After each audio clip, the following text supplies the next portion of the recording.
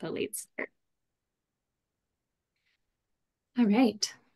So um, just a quick outline for today. We're going to talk for a while about what to grow in a high tunnel, some of the production specifics, um, specifically related to pruning and trellising, and then some of the things that we're learning can go wrong in high tunnels, especially in the soil, and how to avoid some common problems. So to start out, um, we have some just really kind of basic principles of what to grow in a high tunnel. We talked about this a little bit last week, but it's so important to identify a market before you grow anything. We get calls more than we would like to in the summer saying like i have a whole high tunnel full of tomatoes. I have thousands of pounds of tomatoes. I don't know where to sell them. What can i do? And at that point it's usually too late and it's a lot of stress and you've already put a lot of effort into growing something and you don't want to be caught in that situation. And so really understanding your community and the opportunities you have to sell something um, is really important before you choose what to grow in your high tunnel. In general, we want to choose crops that are profitable. Of course, that's true all of the time, but last week you heard about just kind of how much labor and expense goes into building a high tunnel. And so we want to make sure that that space ends up being worth it for you. So typically that means crops that can be harvested continually. So things like lettuce that you're going back and making multiple cuts from, or cucumbers or tomatoes that you're harvesting every day. Or if it is something you're going to harvest just once, like a radish or a carrot, something with a pretty quick growing season so that you have opportunities to grow many things over the course of the season. It also means being really space efficient.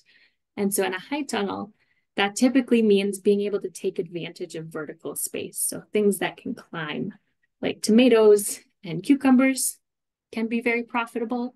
Although, as you'll see today, um, there are plenty of things that do not grow vertically that can also be grown in a high tunnel. Ideally, especially in the summer, we want to choose things that are heat tolerant. And we also want to have rotation can be really tempting to just grow the same thing over and over. Uh, we see this with tomatoes a lot, where people just grow tomatoes every year. And that ultimately, um, well, it can work for a couple of years. Ultimately, people tend to run into problems. So we really want to present a diversity of things that can be grown in a tunnel today, ideally in rotation, so that we can avoid these longer term soil problems. All right. So again, just like uh, Natalie was saying, uh, high tunnel space is expensive. We talked a little bit about that last week of just how much energy and, and monies goes into just starting the high tunnel. And then also putting the crop in is going to cost some time and a lot of labor.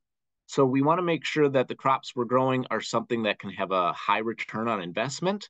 Um, and this can be a lot of different things. And first and foremost, grow what your market demands. Um, you know, if you are able to get a really, really good price on watermelon, for instance, uh, and it's worth it to grow for you, you should grow watermelon. I'm not, and I'm not telling anybody to not grow certain things in in their high tunnels. It's all going to depend on your market and what kind of price you're able to fetch for what you can grow.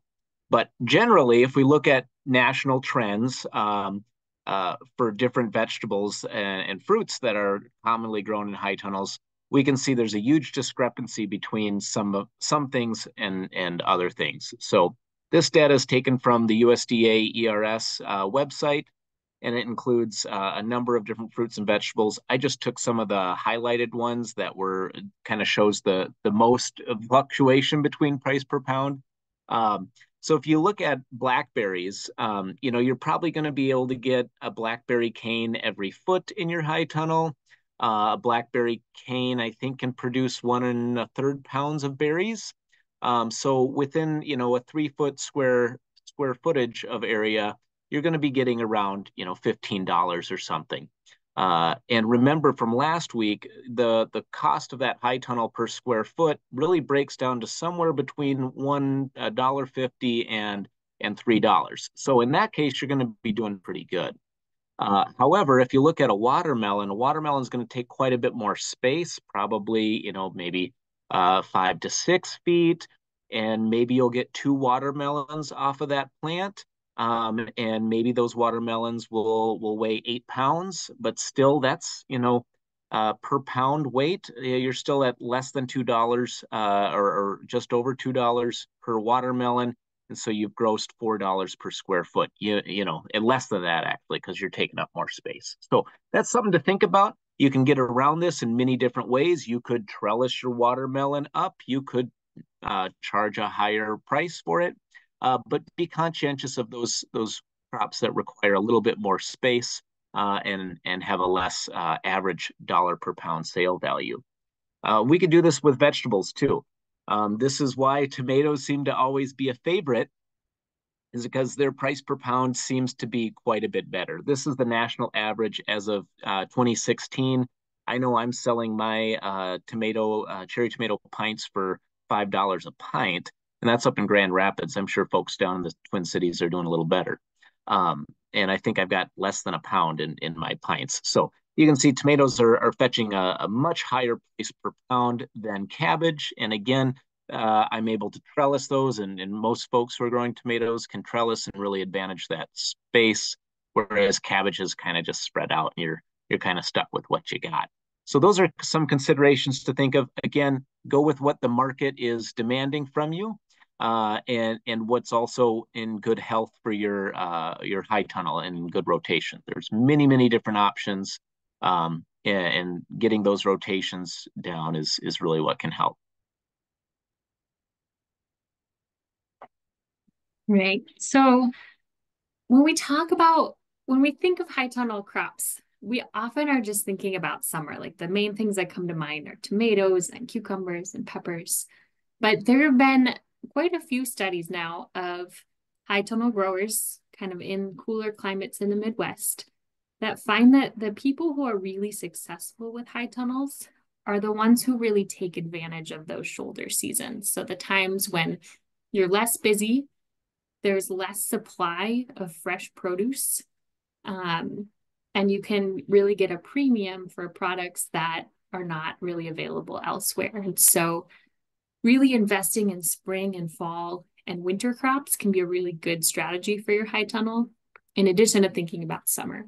So in the spring, um, this is a picture I took from a farm in, it would have been early May. So we, you'll hear more about this 100 Farms project later, but our team went to 100 farms this spring with high tunnels, and most of them were totally empty in May. Like people were not quite ready to start planting their tomatoes yet. And so we just had these bare high tunnels all over. But this was a really great example of a farm that had invested in cool season crops in their high tunnel. And on May 1st, had this beautiful tunnel full of chard and spinach and mustards. Um, so all of those cool season leafy green crops are a really great fit for spring. They can be harvested before your main summer crop, and they really give you that kind of early market. Um, a lot of people also like to grow things like carrots, beets, and broccoli, or even broccolini, varieties that are really fast to mature. With all of these, there's a really wide range. You can grow like a 50 day carrot, or you can grow an 80 day carrot. and so, variety selection is really important for those early season um, crops. And then things like peas, spring onions, turnips, radishes. And you may find that you have to supplement with some row cover um, on really cold nights. So the thing about high tunnels is they give you the season extension. We generally are experiencing warmer springs, but we're still experiencing really cold freezes in the spring. And so being prepared for that is important for high tunnel success. Um, I have been to many farms in the spring where people kind of overestimate and maybe plant their tomatoes a little sooner than might be recommended. And then a hard frost comes and they don't make it. And so being prepared for that is key. Erik, do you want to add anything about spring crops? Yeah, this is another way to to make the tunnel work economically for you. Um, you know, a lot of times, uh, it, the last last week we talked a little bit about utilization of space, um, and you can actually you can go over 100% utilization from these rotations. So if you are planting in between uh, your tomatoes and you're doing some lettuce early, and then you're doing tomatoes, and then you're doing something else afterward, you're getting really good utilization on your space, getting um, good economic returns from that. Um, I think one uh, other thing is a lot of people will want to plant their tomatoes and their um, peppers a little too soon. Just keep them in the greenhouse, pot them up into bigger pots if you have to. Um, they're not going to do anything uh, if you put them in that greenhouse and it's too cold. They're just going to sit there. Um, so use that time for some of these cool season crops. Yeah, great points. All right, so transitioning into summer. Um, is where we want to choose really heat tolerant plants. High tunnels are really hot environments in the summer and things that can be continually harvested and trellised to take advantage of that vertical space. So um, tomatoes are kind of the obvious choice, the first thing that most people grow. Other things in that family that tend to do really well in high tunnels are peppers and eggplants. Cucumbers are probably the second most common high tunnel crop. Um, We've also seen people start to have a lot of success with day neutral strawberries in a high tunnel. So these are not your perennial strawberries. They're treated more like an annual crop and they're harvested throughout the season. Um, with people who are still harvesting strawberries well into the fall. So that's um, kind of a fun, um, different thing to add that can be really profitable um, and that customers really like. Things like green beans, um, and then a number of crops that like we just can't really successfully grow outside in Minnesota because our growing season is too short. So there are quite a few growers who have had success with fresh ginger. Um, sweet potatoes are another crop that people have found to be surprisingly profitable. And then there are some that are a little more questionable, like turmeric often gets thrown in with ginger. Um, Erik and I both visit a lot of farmers, and we don't know that many people have been really successful with turmeric, but there has been more success with ginger. Anything you want to add to summer crops? Um, and I think this will be a good segue going into fall crops. There is kind of a uh, a point of marginal returns with some of these. So, like your pepper plants are going to flower; they're going to give you lots of peppers and you might you know very well be able to get another pepper off of those guys but it's going to take a long time. Um, and it's hard to do. Us as uh, farmers we we really bond to our plants and this is really hard to do but sometimes you're economically better off ripping that pepper out and putting some lettuce in in that space. You're going to get more dollar return doing that even though it is hard to rip your baby up after all that work that you've done that's uh, throughout the summer and that's a great transition to talking about fall and winter crops because this is always the dilemma that um, that there's a lot of value in growing fall crops, but sometimes it means tearing out your summer crops before they're ready. So one of the things that is becoming a lot more common in Minnesota is to grow um, leafy greens for winter in unheated high tunnels. Um, so growing spinach that you would plant in September and harvest in February. Um, if you've ever had Minnesota grown February spinach, it's the best spinach you'll ever taste. It's really sweet because of the cold. Um, but it needs to be planted 10 to 15 weeks before the Persephone period. So that's the period where we have less than 10 hours of daylight. And that usually means planting in early September, which means if you're growing tomatoes, pulling your tomatoes out before you're really ready to do that. So it's kind of a trade off. Um, and again, something that's really dependent on markets. Um, if you're going to do this, additional row cover is usually needed. Um, and I will also say people grow all of the crops that you might grow in the spring in the fall as well.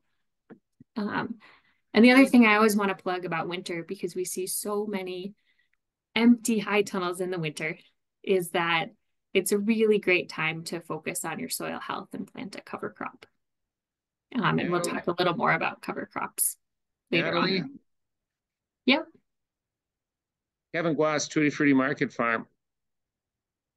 I've looked on the internet without success. I'm trying to find some way of getting a wireless thermometer alarm that would tell me if your tunnel is suddenly way too hot or way too cold.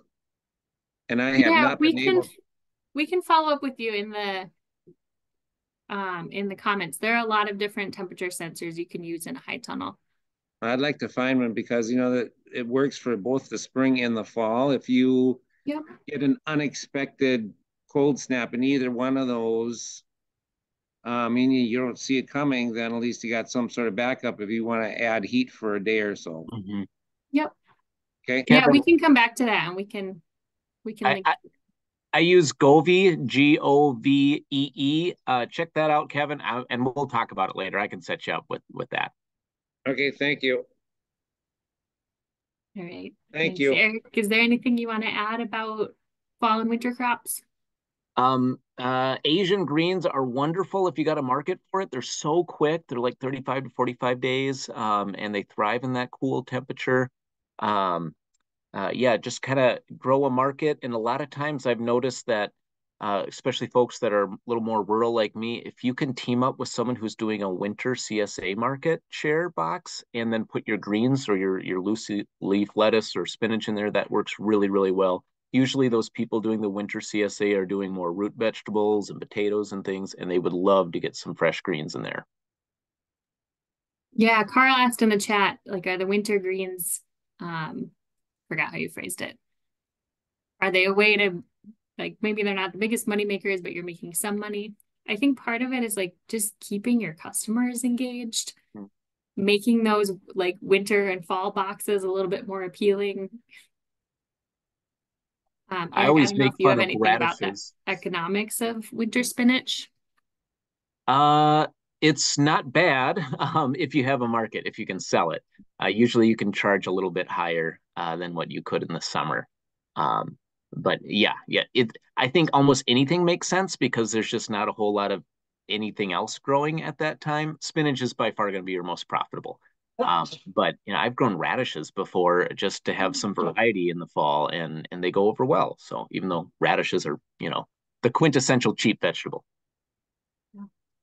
And Allison and Alex are asking about what we mean by additional cover. So that would be a row or a um, a layer of row cover, and that gives you a few extra degrees of warmth um, for those cool nights that's something you can buy in one of the produce catalogs. They're usually not too expensive. If you're a redneck and hack it like I do, uh, you can use like old um, tarps uh, and you just have to pull them off because there won't be any light coming through. Um, even just uh, maybe you you got some extra plastic putting up your greenhouse, you can roll some of that over and that'll help get you through those few cold snaps. Yeah, and that works for like the really cold nights, but for continual production, you can from you can buy from like any seed company or any supply company um, like a spunbond woven row cover that you would actually keep on for the season with little hoops um, or just over the top. If you put plastic you have to remove it because that plant can't breathe and it's gonna it's gonna die. Yeah. So in addition to the annual seasonal crops um, it has become increasingly common to grow a couple of perennials in high tunnels. Um, so at this point, raspberries are really the most well-researched perennial to grow in a high tunnel, um, specifically primocane or fall-bearing raspberries. Um, and there are a lot of benefits to doing this, uh, higher yields. There's uh, maybe some evidence of supporting spotted wing Drosophila management there are people who are growing other things in tunnels as well. And I know people are always really interested in like, can I grow peaches? Can I grow apricots? And the answer is yes, you can. There, there are a couple of people doing this. It may not be the most profitable. It is going to require a lot of experimentation. And so it's not at this point something we really recommend that anybody do. If you're like really interested in it, um, our fruit educator, Madeline, could work with you. But generally, raspberries tend to be kind of the the go-to most reliable most profitable perennial. Um, i put strawberries on here too. They're not really a perennial. They're grown like an annual in a tunnel but is another fruit option. And we've got this bulletin that we can send out at the end about um, raspberry production in high tunnels. And so ideally you would have a multi-year crop rotation and this is where it can be tricky if you only have one tunnel. Um, last week we talked about like what is the right number of tunnels, and that is going to be different for everybody. But having a couple of tunnels does give you a lot more opportunity to rotate your crops. And so this is just kind of a an example rotation for your main crop for the summer. That maybe one year you grow tomatoes, followed by a cover crop. The next year you grow cucumbers with a winter spinach crop, the next year you grow day neutral strawberries. But in reality, most people are not going to have a single tunnel dedicated to an entire crop. Um, that's just like not necessarily the reality of markets. So Erik's going to share at his farm what it more realistically looks like. So I have the the problem of having one really large high tunnel, and had I gone around again, I probably would have gotten two smaller ones, so the rotation would be easier. Um, and you know, I'm I'm driven by the economics of it. I am very tempted to put tomatoes after tomatoes after tomatoes, um, and I got away with that for a year or two, but now I'm kind of seeing seeing some of the signs of of why that might not be a very good idea. Uh, anyway, I'm I'm usually able to get quite a few different crops out. And you know, when you're faced with that challenge of getting uh, just having one tunnel and trying to rotate, I've just gone by rotating on rows. So typically half my tunnel will be in tomatoes. And so it'll be on the left-hand sides, all tomatoes this year. And then I'll switch and that'll be on the right side that year. And then I'm going to grow cucumbers, peppers, eggplant, other stuff on that, that other side. Um, but eventually you're going to run out of options. Uh, and, and, so it's it's uh, good to have a, an arsenal of different things in your uh, um, in your growing arsenal. So um, this year I some winter sowing of spinach. Um, so hopefully that will come up in the spring. I've done that in the field with really good results, and so I'm thinking it'll it'll work in the tunnel. Um, oftentimes we will start seeing, you know, end of April, even we pushed it to mid-April this this last year, and I think I could have even pushed it to the first of April, um, sowing in direct sowing um, loose leaf and head lettuce. And we're able to usually get uh, a good good couple cuttings of loose leaf lettuce and spinach. Um, and then sometimes I'm even able to get uh, some decent sized romaine heads of lettuce. Um, and sometimes I'm pulling them out when they're they're small, not ideally large like I would like them, but it's it's they're still going to sell. It'll be fine.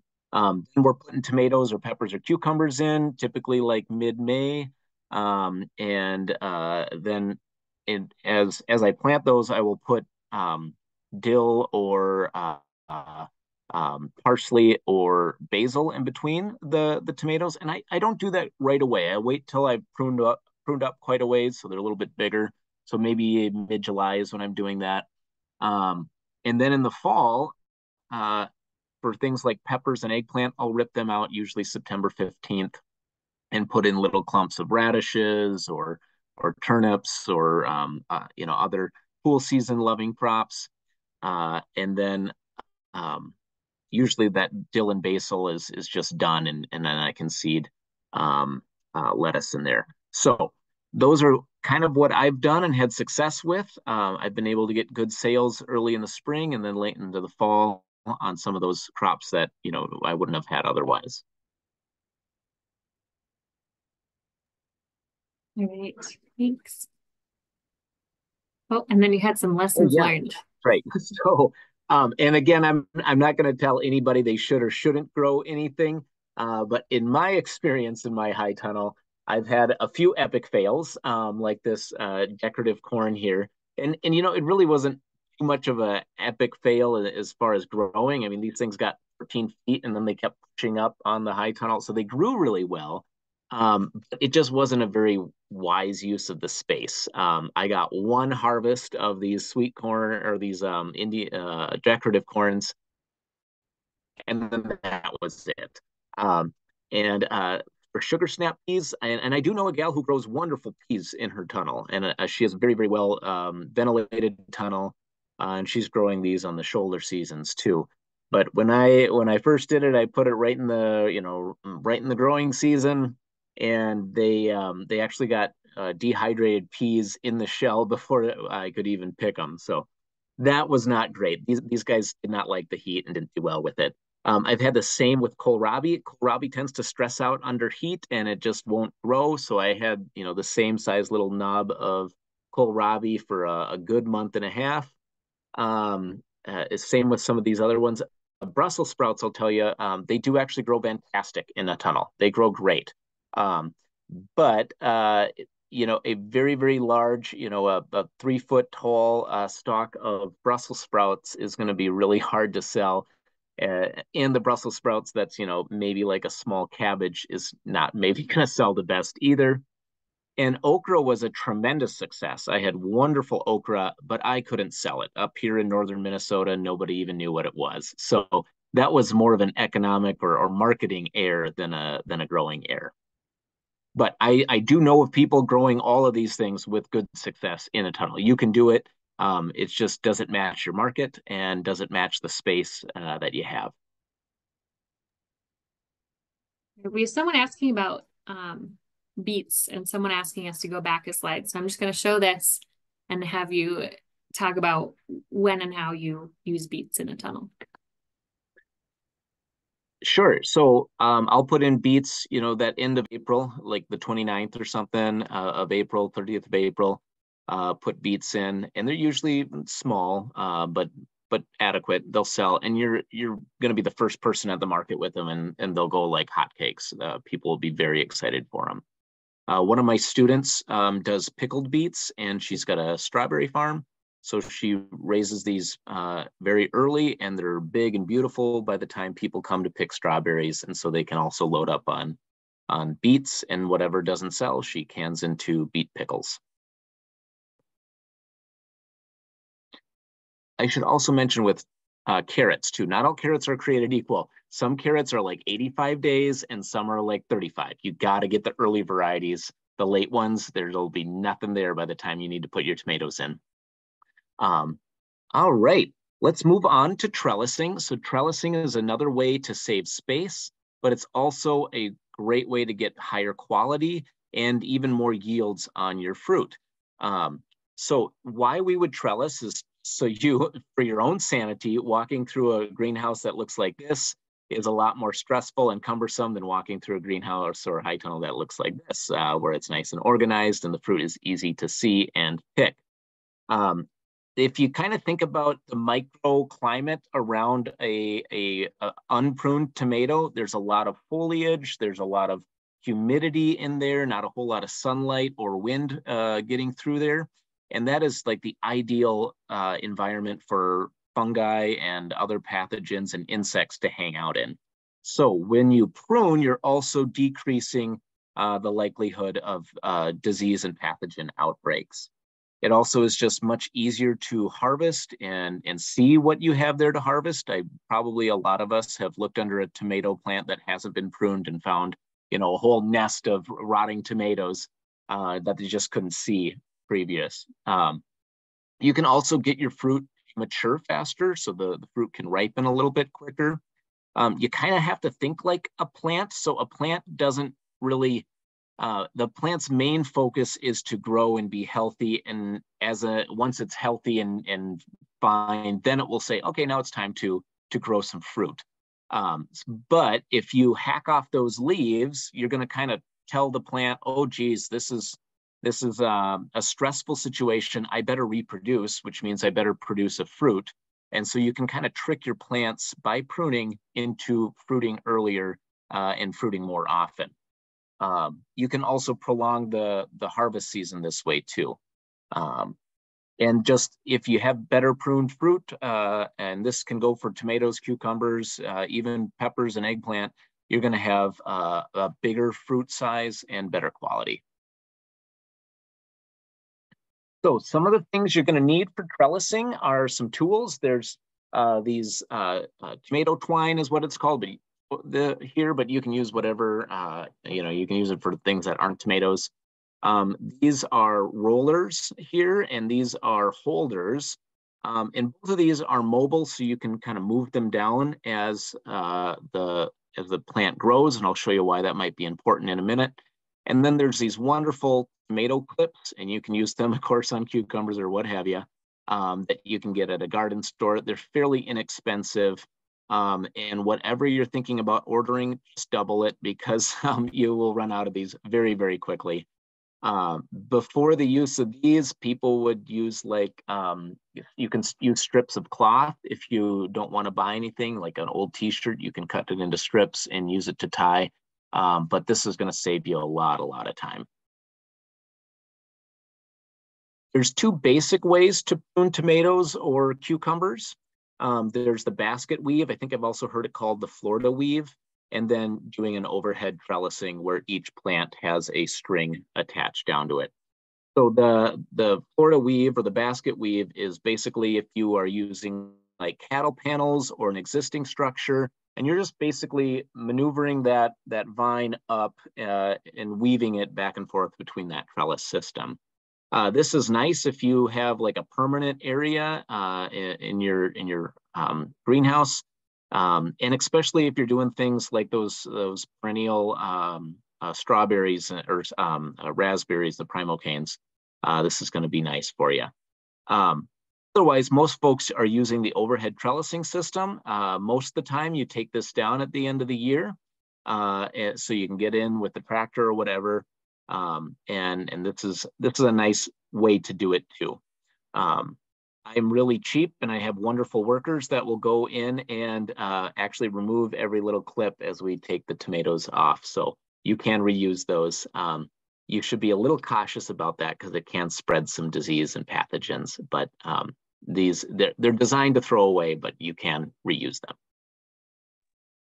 And I'll just say, I think this ties back to last week's webinar in that if you are planning to do trellising from the roof of your high tunnel, you need to make sure that your high tunnel is designed for that.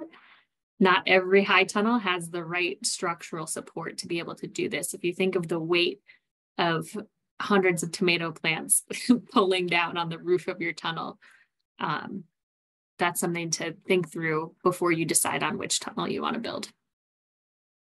That's a great point. If you can imagine a, a tomato fruit that's been well pruned and cared for in peak season is going to have about 30 pounds of tomatoes on it, uh, plus the weight of its, its stem and all that. If you have 100 of them in your high tunnel, you can do the math. That's a lot of weight. So uh, be conscientious of, of that. Um, there's a couple other ways that you can trellis, uh, prune and trellis your crops in a high tunnel. There's the lower and lean method. This is a great space saver and body saver. Um, typically, you know, uh, uh, us farmers are really getting sore and cranky in August. Um, and a lot of that has to do with climbing ladders to pick cherry tomatoes and all that other stuff.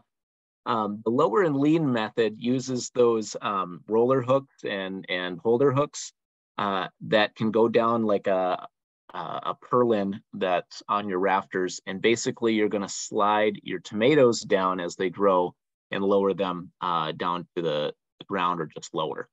What you want to do here is you want to have really good prunage and you want to have your fruit at like a chest height harvest. Um, and that's actually the best place as far as airflow and heat goes in your tunnel. Um, you know, I've had uh, cherry tomatoes that go up and then over and down again. And so I've got tons of cherry tomatoes way up here in the canopy. They're hard to get um, uncomfortable to get, and they're they're molding and splitting faster just because the the microclimate up here isn't as good as it would be down at chest height. So uh, the lower and lean method allows you to have those uh, fruits right at the the right growing temperature height and the right uh, height for harvesting. So it's a nice nice thing to think about doing. If you're doing the basket mm -hmm. weave, you can't really do this uh, the that pruning. Part. All right. So I know it's already 620. we started a little late, so we're running a little short on time. Um, but we're going to shift gears a little bit and talk about just some of the really common issues that we see in tunnels and how to think about managing in a way that allows you to avoid these problems down the road. Um, I do want to acknowledge there are quite a few people talking about varieties in the chat. Um, just as like a general rule, seed companies have gotten really good about like labeling things that are well suited for high tunnels. Breeders are breeding things that are specific to high tunnels. Um, and if you all have variety recommendations you want to share, feel free to put those in the chat as we go along here. So, and I'll try to wrap this up. Um, we might go a little bit over, um, but I'll try to wrap up by about 6.30. we might have to skip a little bit. Um, so I think I mentioned this last week that more and more people are getting high tunnels and we frequently hear from growers this issue that like for the first few years things look so good people are so happy with their high tunnels and then there seems to be this kind of productivity decline that happens.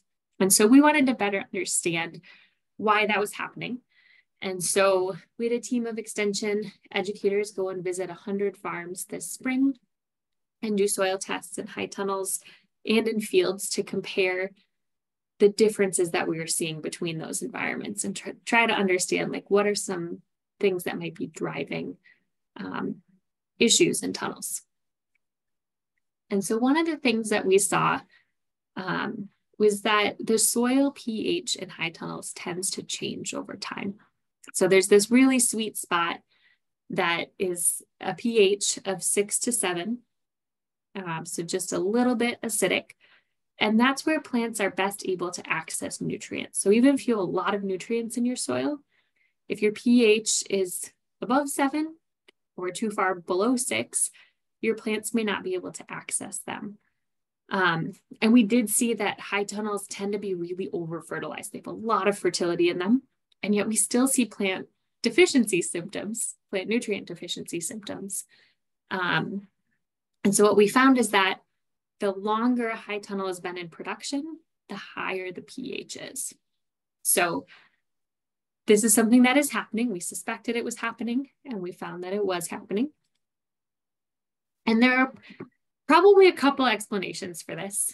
Um, unfortunately, like one of our hypotheses was that it's our irrigation water, that our water tends to have a high pH. Every single farm in this 100 farm study had water with a pH that was too high and with high alkalinity. The fact that every single person had water with a pH that was too high meant that we couldn't compare like what does it look like when a farm has an ideal pH compared to one that doesn't because everybody's wasn't ideal. But we think that that's one of the drivers um, of this problem. The other thing is that people tend to add a lot of inputs to their high tunnels. There's this idea that it's this high value space, you're asking a lot from your soil, you're producing a lot from your high tunnel, and so you must be depleting the nutrients. And we see that people are really overcompensating, that nutrient levels are way higher in high tunnels than they are in the field, and they're a lot higher than they need to be. And so when we're applying a lot of salts or when we're applying a lot of compost, and composted manure. We're applying a lot of salts to our tunnels. Um, and we saw really high levels of calcium in high tunnels. Um, and so that accumulation of salts may be contributing to the pH. And it also means um, we've seen evidence from high tunnels elsewhere that when calcium levels get too high, it can prevent the uptake of other really essential nutrients like potassium. So we're kind of over fertilizing and then we're irrigating with water that has a pH that's too high. So some solutions to this, one is to test your soil often and only apply as much fertility as you need. So not overdoing the manure, not overdoing compost. And then focus, your soil health is still really important in a high tunnel, but we can build that in other ways. So using cover crops, reducing tillage.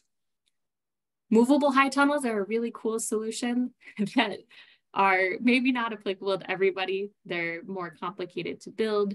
they're more susceptible to wind damage, but there are some really cool examples of movable high tunnels in Minnesota. So they're on, you can kind of see in this picture, they're in a track system where you move them every year along that track and allow rainwater to come through.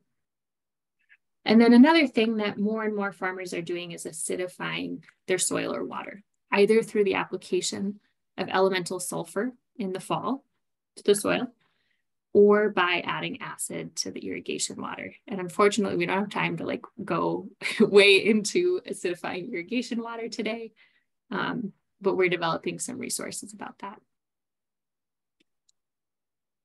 A second problem is the buildup of soil-borne pathogens. Um, and we see this in fields, but it's something that we really see in high tunnels. Um, often probably because we're growing tomatoes over and over again in the same tunnels. And so last summer, or I guess the summer before, um, there was this Midwest survey that the USDA did of high tunnel soils. There were only three Minnesota growers that participated, but in all three of those tunnels, we found persistent soil-borne pathogens that were contributing probably to yield loss. So we are seeing verticillium and fusarium, as well as root knot nematode in high tunnels. So what do we do about that?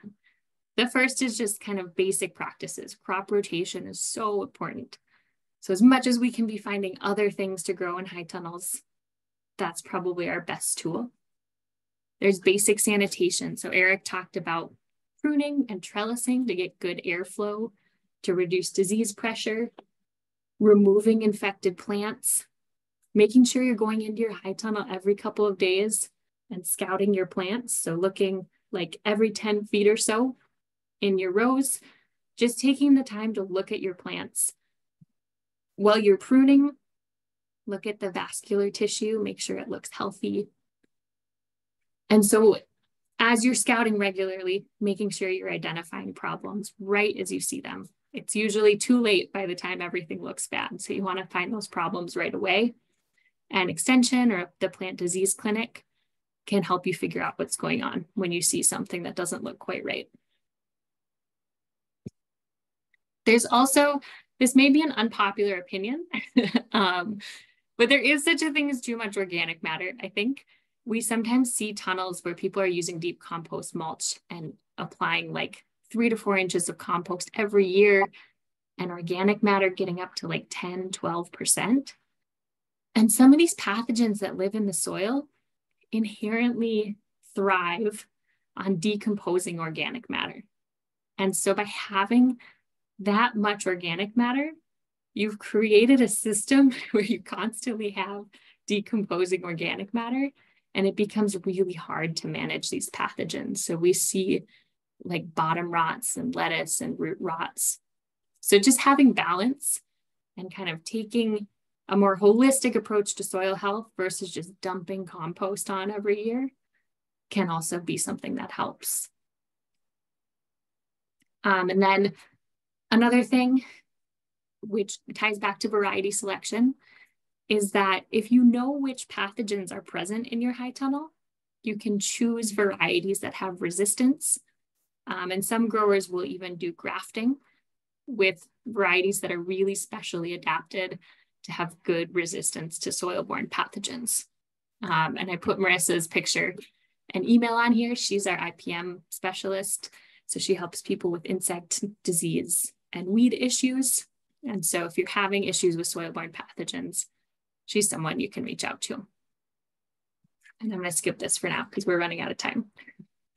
And end with one final problem, which is just that high tunnel soils get really dry. Um, and especially when we have a lot of organic matter, when we're using a lot of compost, when we're transplanting, so we're introducing a lot of potting soil, those materials can actually become hydrophobic when they dry out. So they repel water. So once they dry out, it's really hard to rehydrate them.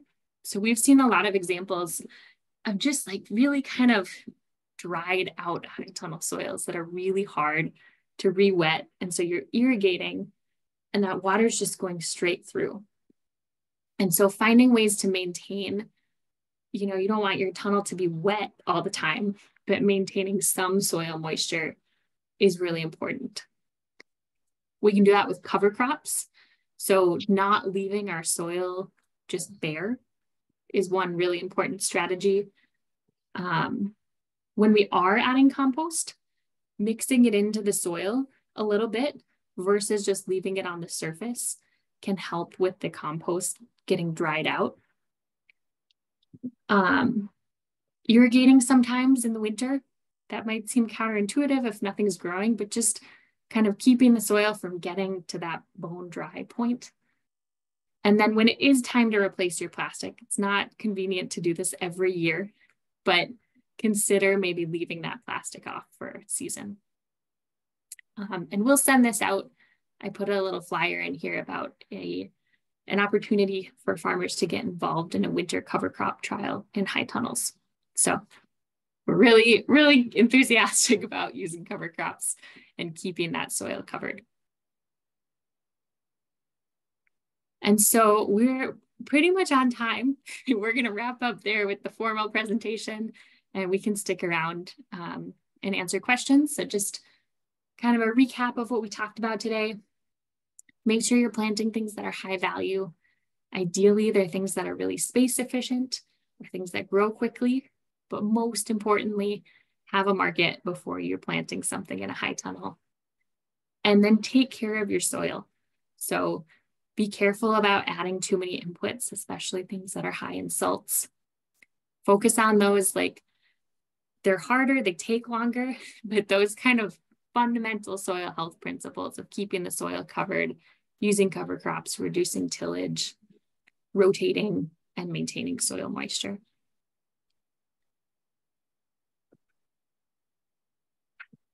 And so I put just a couple of things here, our fruit and veg newsletter. Um, and we have a lot of soil health resources and high tunnel resources on our um, Extension Small Farms YouTube channel as well. So I'm gonna stop sharing. We can reshare if we have to go back and look at something. Um, but we can do some Q&A. How should we do this, Erik? Have you been kind of monitoring it as I've been talking at um, the end here?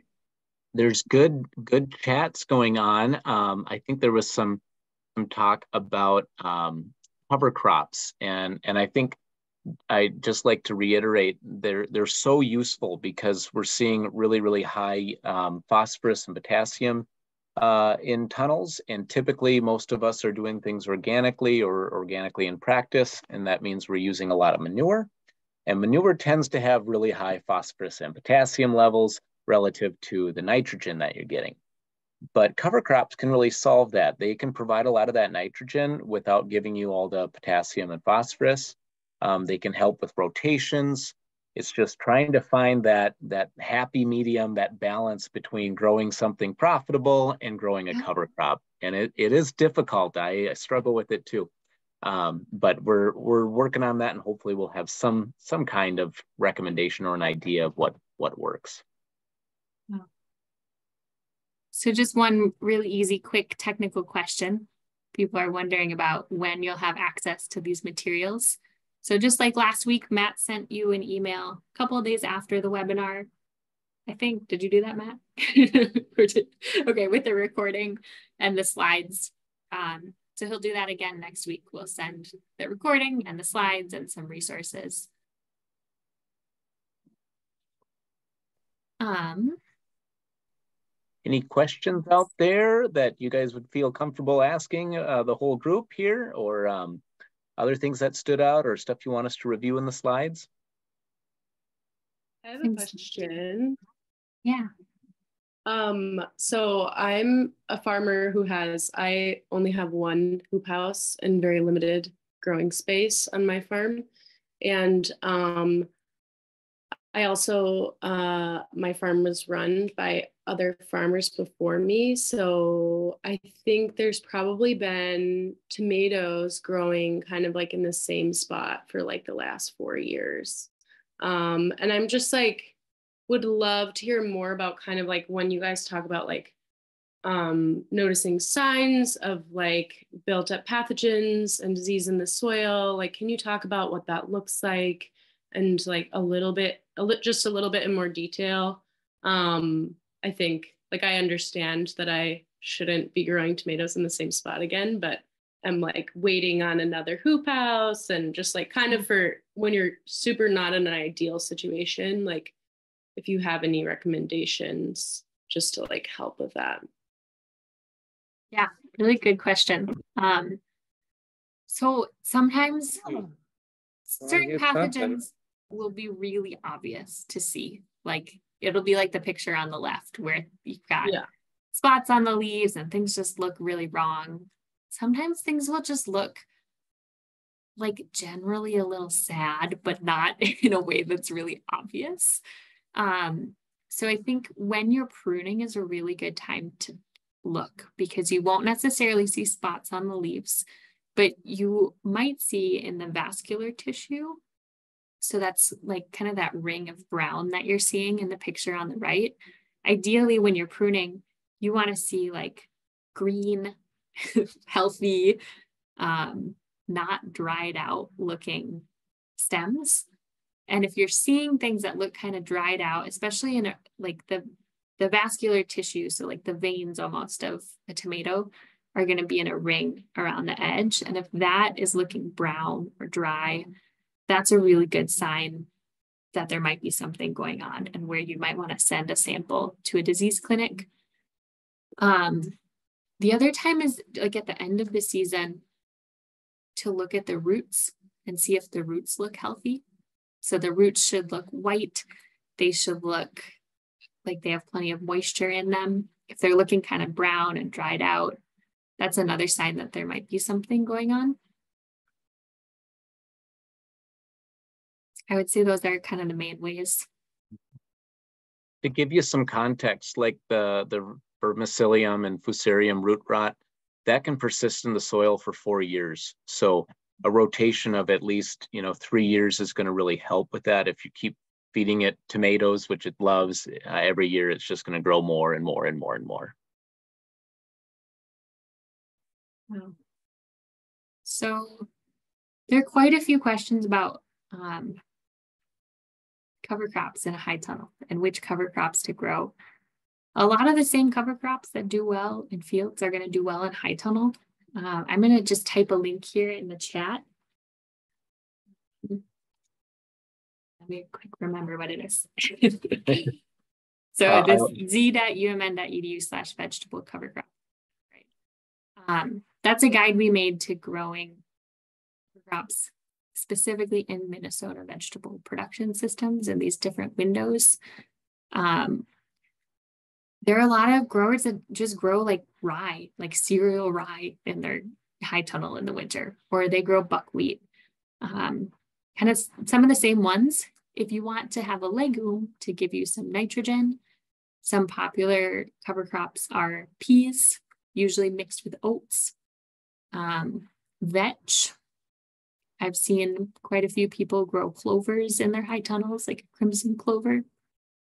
Um, and if you're interested, this study that we're doing, you can sign up and you'll get free cover crop seed and you get to try it on a really small scale in a community with other growers. So it's kind of a nice way to like dip your toe in and see how it goes.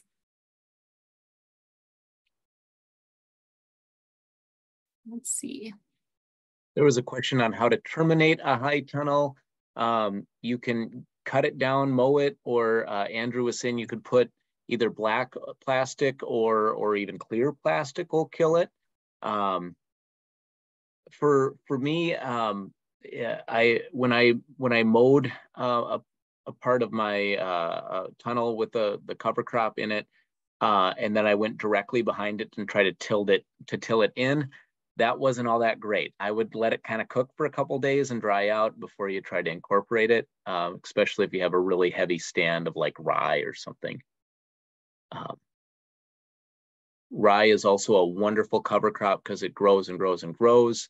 Um, but there's other maybe more polite cover crops that'll actually die when when they're supposed to, like oats and uh, things like that. Uh, buckwheat dies, which is nice. Um, rye tends to just keep going and going and going. It kind of becomes a weed uh, if you don't don't kill it real real fast. There are a couple questions about high tunnel tomatoes and what varieties are people's favorites. And a few people have responded um, with some of their favorite tomatoes, Big Beef, Estiva, Sakura. Uh, Sun Golds are kind of like the go-to um, sweet cherry tomato of a lot of high tunnel growers. I'm going to put one of my favorite resources in the chat here.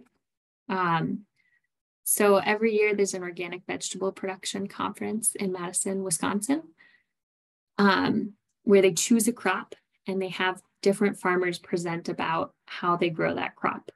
Um, and they do high tunnel sessions and like people's favorite varieties are listed in there, as well as so many details about how do you prep the soil, how do you start seeds, when do you plant, like how do you deal with every kind of minute detail of growing this crop. Um, so it's a really cool resource. And they have high tunnel cucumbers, they've done high tunnel tomatoes a couple of times. And so you can get some good upper Midwest variety recommendations from some really experienced growers just by looking at that um, resource.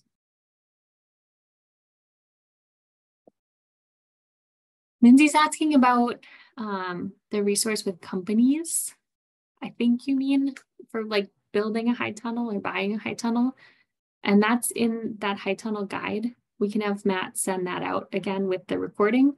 But on one of the final pages of that guide, we have a list of all the different suppliers of high tunnels that we know of in the Midwest. As far as people to install them, I'm not too familiar with uh, them, although um, Andrew, there is a guy that uh, is up and coming. I think his name is Rodrigo. He's kind of a handyman and he might be interested in helping you construct your high tunnel.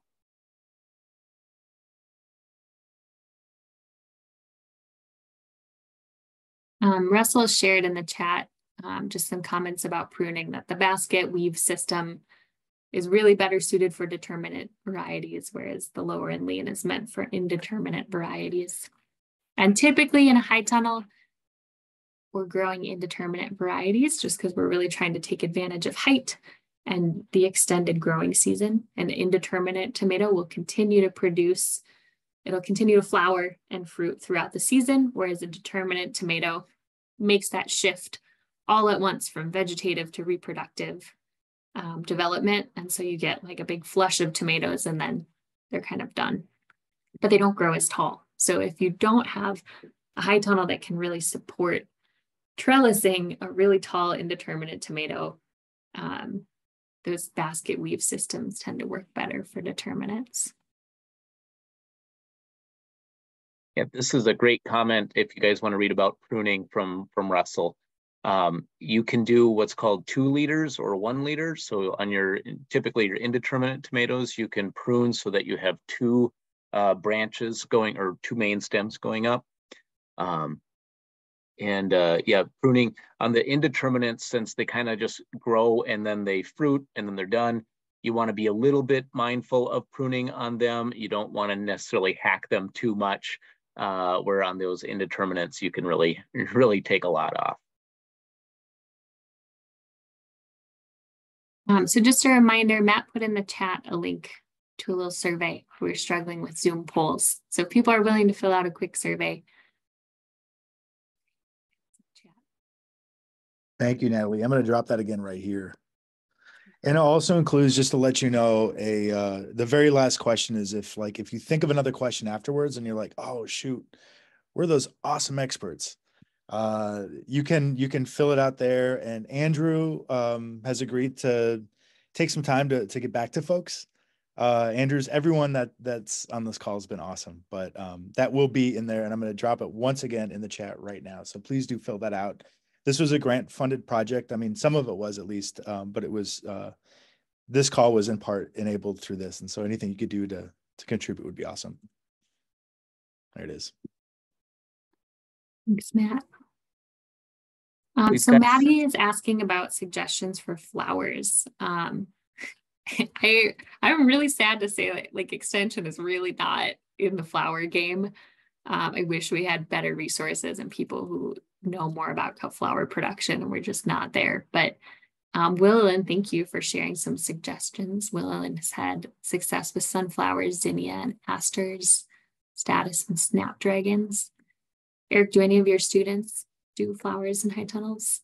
Uh, I got a couple that are starting. Um, uh, some folks are trying to get that lily market, uh, the white lilies for Easter. Um, you, and lilies do well in tunnels. You can even grow them in like potted, um, well, pots, I guess.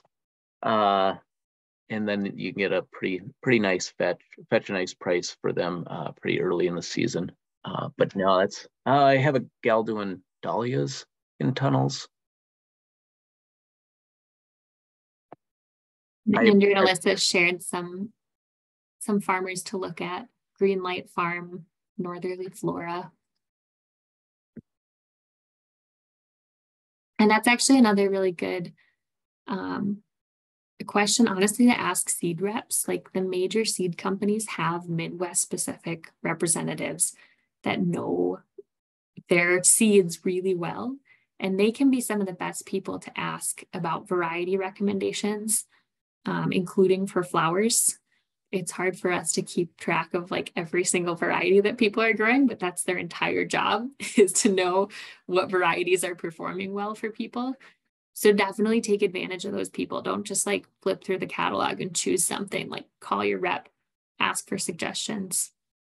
So all the like high mowing, Johnny's, um, Stokes, I don't Homes, all of those seed companies have Midwest reps that can help you think through good varieties.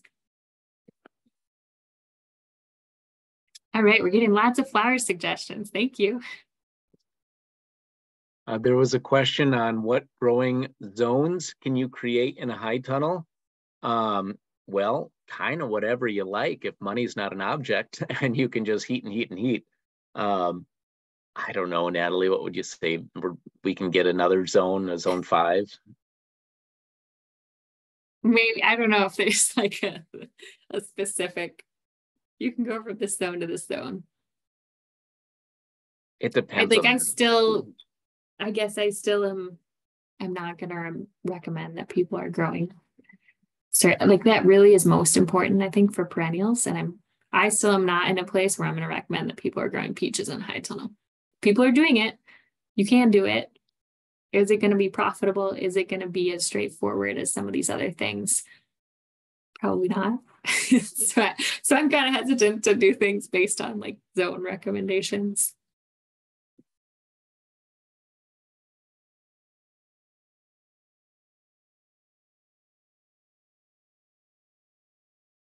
Anything else?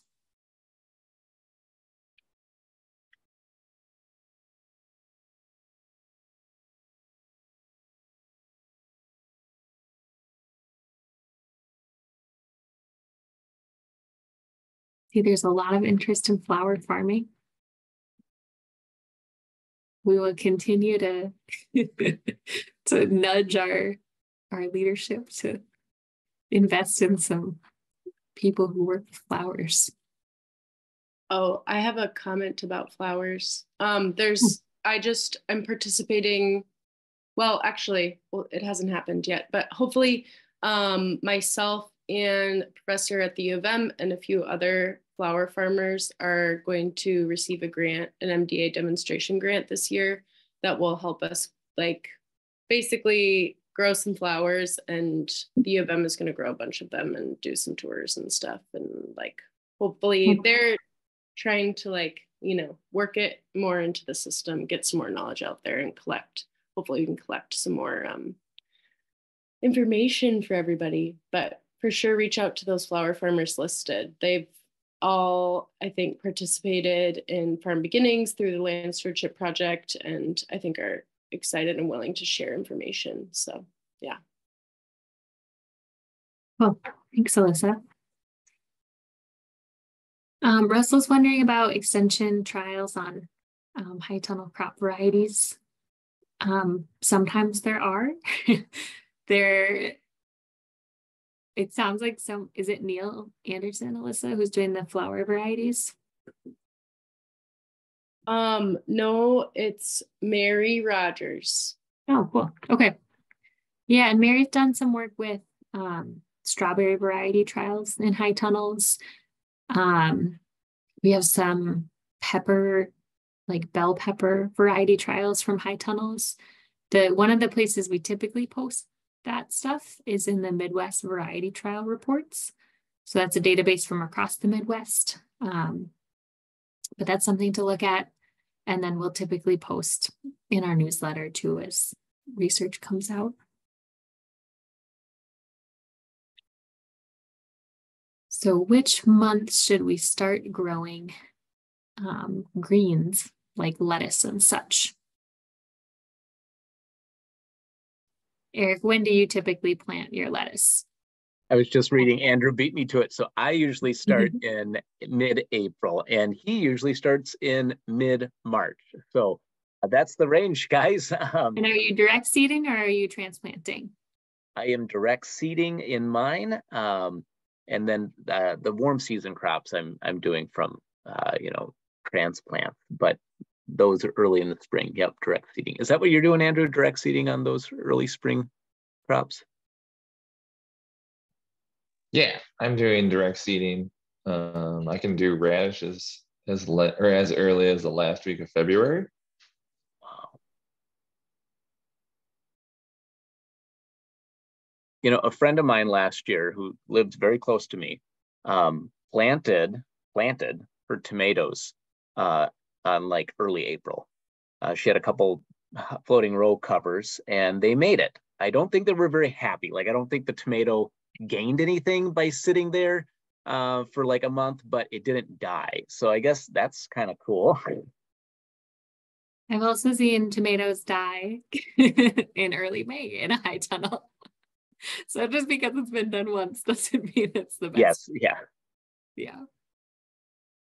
If if you're going that early, like you know, like what Andrew's saying, please buy yourself a floating row cover because you're gonna lose a lot of work um, on those cold snaps if you don't have that. And Will, and you bring up a good point that it's it's not just about the heat, it's also about daylight. And so if you start too early, your plants can get stressed because they're just not getting enough light.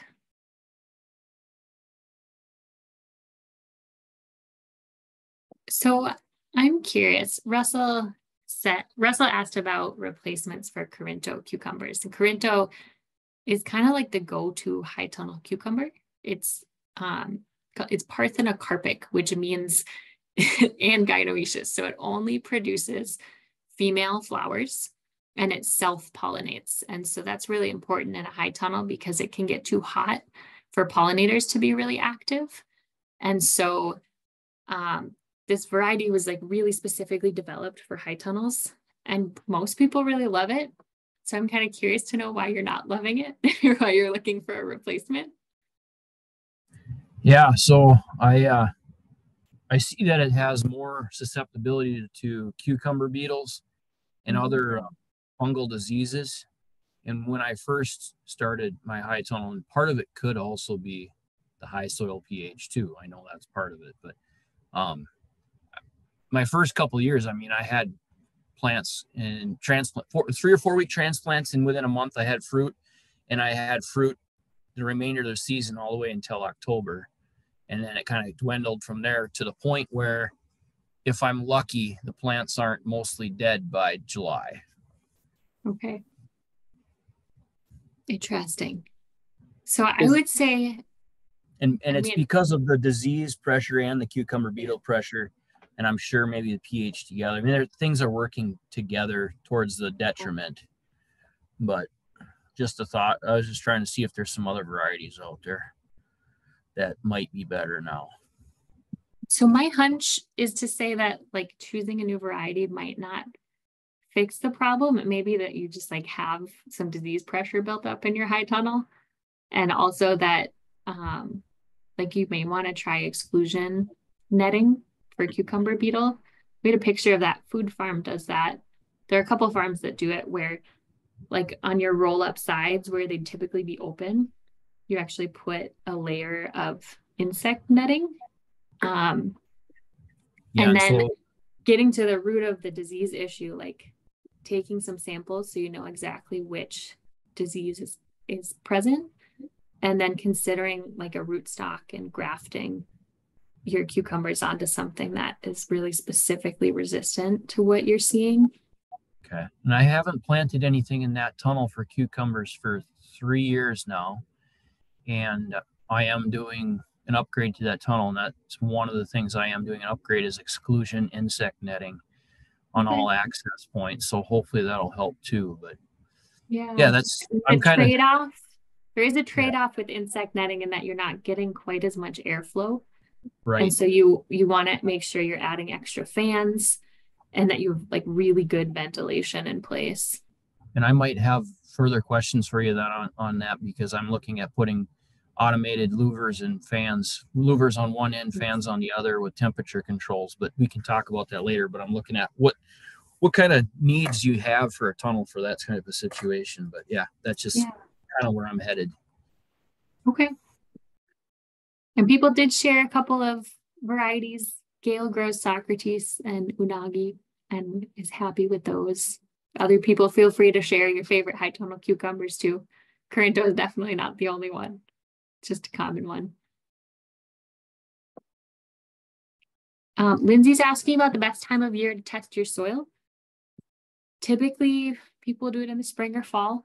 Um, I really like soil testing in the fall because in the spring there are like thousands of gardeners testing their soil and sending it to the soil lab and they can get a little bit more backed up. There's just like so much soil all of a sudden and so it can take a little bit longer.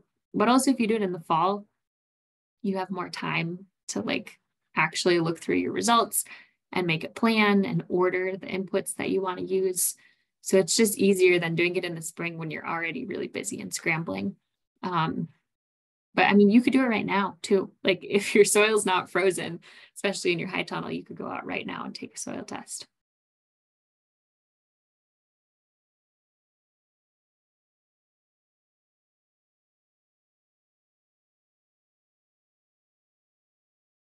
Lots of people like Market More 76. that's something that Natalie and I can help you with. Like ideally you should get your soil test. And I, I know, and I was like this too, you know, you get your soil test and you look it over and you're like, huh, okay. And then you never think about it again. Um, it's, you know, it's something that you probably want to process a little bit and probably do some math with uh, to figure out what you really need as far as fertilizers go um, and and we'd be happy to help you with that. I love geeking out to the to those numbers and finding um, different fertilizer sources that are, will work for your tunnel. Yeah, and like don't stress yourself out about it. There's a whole network of people that can support and it, it can be really overwhelming like math is not intuitive to most people. And like there are people who will sit down with you and help you come up with a nutrient management plan. So don't feel like you just need to like i don't know look at your soil test and be like oh it's too complicated. I don't know how to make this translate into my system. Um, there's a lot of support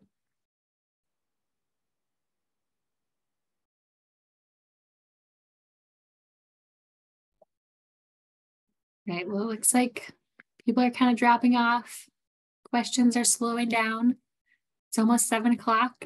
so maybe we can wrap up here um, at seven.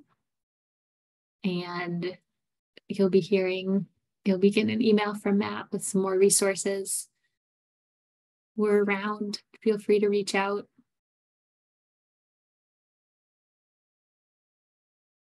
Thanks for joining us. Thank you so much, Natalie, uh, for leading this this part of it. Um, and Erik and Andrew, uh, yeah, really appreciate y'all. Thanks for organizing, Matt. For yeah. sure. Thanks to our interpreters, and thank you for everyone, to everyone for coming back after you got kicked off. Yes. Appreciate your persistence.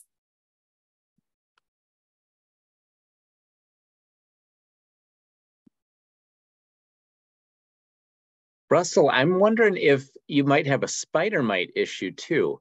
Um, yep, I, yep, that's that is something that's happened. Okay. okay. Yep.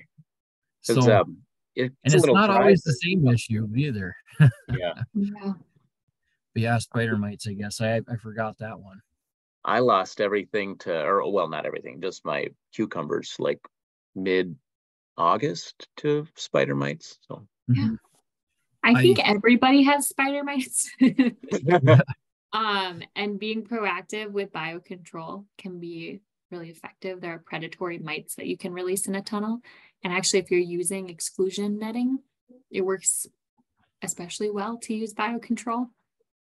Um, I- yeah. I'm gonna, I'm definitely gonna try a few of those options. I know I was reading something from Ben Hartman and Lean Farm online and, and, um, he uses Corinto and he, um, was, he got to a point where he determined that grafting wasn't his best use of his time. Hmm. What he, and money, what he ended up doing is doing a, tr- uh, succession planting of cucumbers every three weeks Mhm. when you know he'd get one up and growing by the time the next one was producing that next one he'd take out but i Hmm. kind of wonder if he was putting those in different tunnels too because i tried that one year and it just you know then it just spreads to the transplants and the transplants can't even handle the pest pressure then so and he and he he, he probably maybe don't have the same issues as me either so it's hard to say but i just know he had he was just doing that to alleviate any kind of disease and production issues. But that gets expensive at a dollar a pop for a seed. Some I think they're about a dollar a seed. Yeah. Yep. Yeah, grafting grafting can be expensive and time consuming, but that also sounds expensive and time consuming. yeah. I, I And a do lot of growers who graft on a larger scale will um they'll buy pre-grafted tomatoes or they'll like Okay. outsource it. Um just because there are people who are really good at it. and Yeah. people find that it like the the labor to cost ratio can be worth Yeah. it. Yeah, I, I I I do my own grafting, but I don't I don't want to say I'm very efficient at it. Yeah. I don't lose too many plants, but it takes me a long time to graft hundred plants. Yeah. I think it takes me about I think it takes me four hours to graft, I think, about hundred plants, if I remember right. So